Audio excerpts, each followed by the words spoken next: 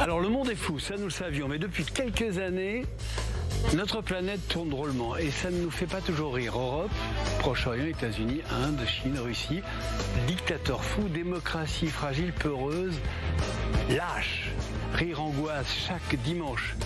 Dans l'histoire interdit avec mes invités et Amnous, Amnous Chalmani, ma complice, c'est de ce monde-là et de sa valse merveilleuse ou inquiétante dont nous allons parler, sans aucun interdit bien sûr.